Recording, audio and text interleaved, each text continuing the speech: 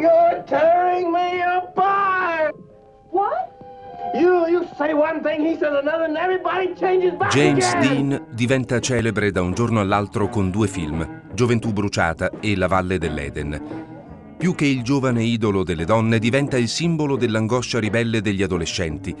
Termina soltanto un altro film poche settimane prima di morire in un tragico incidente stradale nel settembre del 1955. Il gigante che rappresenta la caduta dell'idolo ha un immediato successo e vede la partecipazione di Elizabeth Taylor e Rock Hudson.